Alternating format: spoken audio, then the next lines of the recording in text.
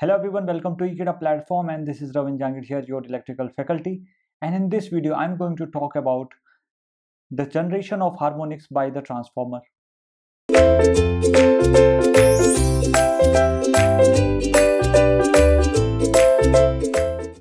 So I will start with some of the points which are listed here and one by one we will uh, check what are the points are going to say here. So let's start. So if I start with the point number one, that point number one is going to say that the harmonics, I can say the harmonics in the voltages, so whatever the harmonics in the voltages causes due to the magnetic distortion, causes due to the magnetic distortion and the magnetic saturations. So you can uh, say that the whatever the uh, harmonics causes in the transformer are mainly because of the magnetic distortion okay we will see the what is the magnetic distortion and the magnetic uh, saturation so every you can say the material is having the saturation. That saturation is the inner value. So if a material is inbuilt will have the saturation. It cannot provide the flux at the infinite value. So that only depends on the uh, material type of the material. Now so if I talk about uh, the point number two, it is saying that the magnitude of these harmonics, once again, magnitude of uh, these harmonics depends upon the operating flux density. So what is the operating flux density? That is actually denoted by the B. That is actually denoted by the B. So that is uh, that that why I'm no that's why I'm talking about that. So magnitude of these harmonics depends upon the operating flux density and that operating flux density is b which mainly depends which mainly depends on the value of your uh, you can say the value of flux okay because the magnetic flux density is equal to phi by a so total flux passing through a particular area is called the magnetic flux density now so if i talk about the third point number 3 it is saying that the conventional transformers are conventional transformers are generally operated at high magnetic flux density. Not the conventional, it will be converter. It will be converter. Okay, so converter transformers are generally operated at high flux density. Well, at a high flux density than as compared to the conventional three-phase transformer if you are using the conventional three-phase transformer so which will be more operating will which will have the more operational high frequency uh, or you can say the magnetic flux density you can say the converter transformer that we, that you are using in the HVDC transmission now if you talk about so that the chances of generation of harmonics more in the converter transformer as it is operating in the magnetic high magnetic flux density. It is operating at a high magnetic flux density. So due to that high magnetic flux density it may have the chances of the harmonics more harmonics. Okay? Because ultimately they are actually related with the flux distributions. Okay? Now so converter which is a basic unit in the HVDC transmission causes the cyclic changes of the impedance in the circuit. Okay? So that causes the cyclic changes. And that's why these are called as the harmonic current generators. These are called the harmonic current generator. So converter which is a basic unit in the HVDC transmission. So if I talk about the EMF equation of the transformer on the primary side we have already discussed in the transformer chapters uh, in the second uh, second year.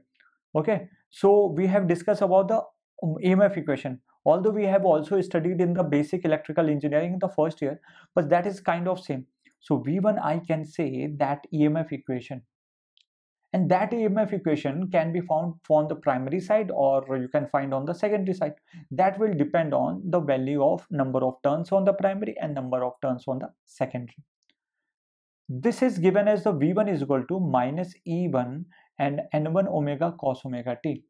And this is actually the value at the no load but the primary magnetizing current will not be the sinusoidal due to the BH curve. So that uh, if I talk about the magnetizing current on the primary side, so that is not going to be in the sinusoidal proper full sinusoidal value. And that can be shown in this diagram. This is the initial, uh, you can say the residual flux and this is going the variations, the variations of the IM and here we generally use H and here we generally use b that's why we are using it a bh curve we generally say bh curve or you can say the hysteresis curve.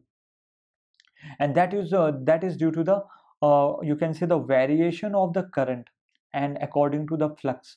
So that is a curve drawn that is called the hysteresis curve.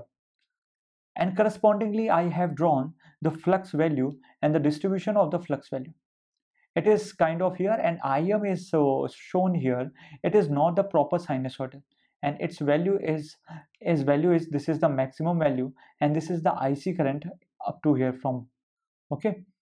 And this is value of the and this is the IC current okay? Now we will move for the next points.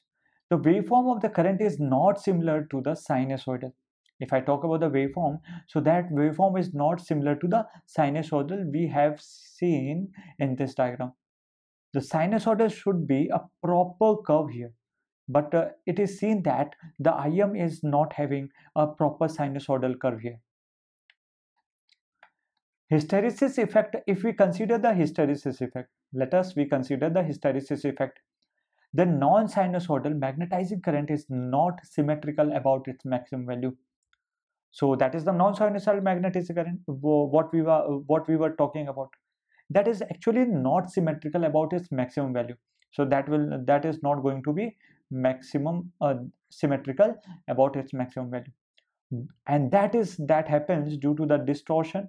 You can say distortion causes by the triplet harmonics. Now the cases of the harmonics arises and these harmonics causes the these fundamental uh, problems which i am discussing now.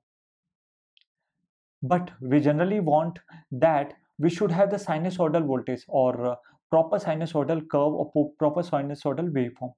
To maintain the sinusoidal wave voltage the give a path to the triplet harmonic.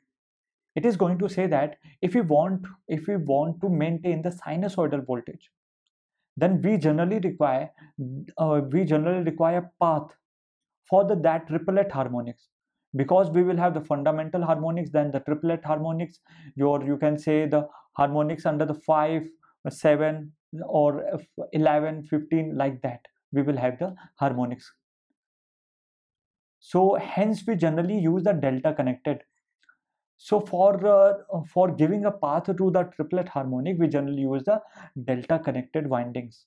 Okay, guys. Now we will move for the last point. Uh, last point for this slide. That is the if we talk about that transformer, if we talk about that transformer, then excited by the sinusoidal voltage produces the symmetrical uh, excitation current having any odd harmonics. It is saying that the transformer will have the only the odd harmonics it is going to say that. And this is the simplest BH curve which is provided here. And according to that we have also given the excitation current value or curve uh, of the excitation curve if let us suppose there is a magnetic imbalances magnetic imbalances then the BH curve and the excitation current won't have the same shape as for the no load. So no load and uh, due to the magnetic imbalances the shape the shape of the waveform will also be distorted. And due to this distortion the shape will not be the same as as it was the previously. Due to this imbalance due to this imbalance the average flux is going is not equal to zero. Generally we will have the average flux equal to zero for the full cycle but due to the, this imbalance there will be a distortion in the waveform and due to this distortion in the waveform it will have the average flux is not equal to zero. Now under the under the balance condition if we talk about the balance condition that converter will have the fundamental and the normal frequency normal harmonics so it will have the fundamental plus normal harmonics and these harmonics are kind of the fifth, sixth, eleventh and thirteenth and so on. Okay.